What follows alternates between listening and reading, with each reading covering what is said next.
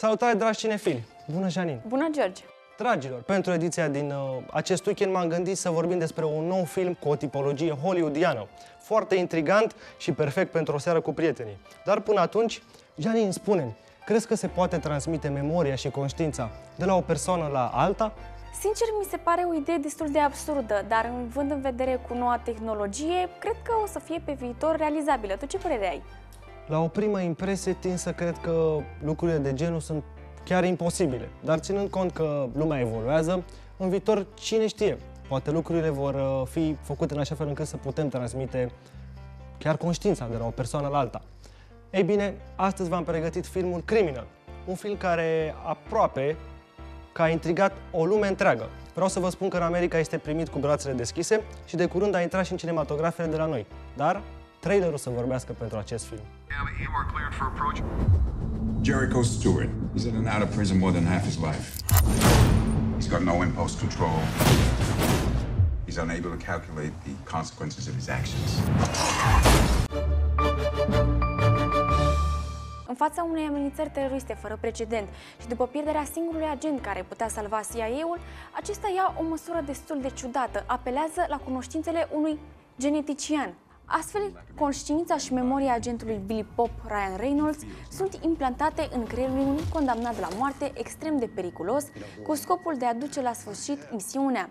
Operațiunea experimentală este un succes, iar siguranța națională ajunge în mâinile criminalului Jericho Kevin Costner, tulburant acum de amintirile și sentimentele lui Bill. Până în prezent, cu toții știam că oamenii, odată cu dispariția lor, își au amintirile și conștiința în mormânt. Ei bine, știința avansează și odată cu trecerea trecerea timpului, amintirile pot fi transmise de la un om la celălalt și implicațiile sunt majore. George, ți să spun că mulți critici au comparat acest film cu filmul Selfless, datorită poveștii și, bineînțeles, a apariției lui Ryan Reynolds. Dar ține să vă spunem că acest film are doza lui de mister și cu siguranță o să vă țină în suspans până la sfârșitul acesteia. Cu sau fără alte asemănări între alte filme, Criminal este un film bun, credeți-mă, o prestație a actorilor credibilă, o poveste intrigantă, așadar merge să-l vedeți și vă aștept pe pagina noastră de Facebook cu părerile dumneavoastră. Despre această poveste, despre prestația actorului Ryan Reynolds, bineînțeles, dacă mai țineți minte, l-ați văzut în filmul Deadpool, vorbim astăzi cu invitata noastră, Gabriela. Bună, Gabriela, mulțumim pentru prezența ta în emisiunea noastră.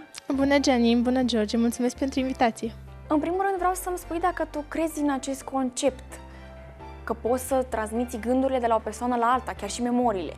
Desigur, cred că este posibil, așa cum și călătoria spațiu-timp este, cred că este posibilă și alte lucruri absurde. Crezi că transmiterea aceasta de informații de la o persoană la alta este un subiect bun pentru un film în zilele noastre? Oamenii ar trebui să fie intrigați de acest subiect și să meargă să-l vadă? Sigur, cred că este un subiect pe care ar trebui să îl dezbată mult mai multe filme. Este foarte interesant și uh, oamenii ar trebui să se gândească foarte serios la această temă. Uh, filmul uh, în care a apărut Ryan Reynolds, am vorbit în edițiile trecute, Deadpool, da. le vedem și astăzi în acest film, totuși într-o abordare diferită față de primul. Consider că este un actor bun? Uh, da, consider că este un actor foarte bun. A demonstrat că poate uh, juca o mulțime de roluri și uh, cu siguranță acestea sunt remarcabile. Dacă ți-ar revi ocazia, ca în viitor, memoria ta să fie transmisă la o altă persoană, ai fi de acord?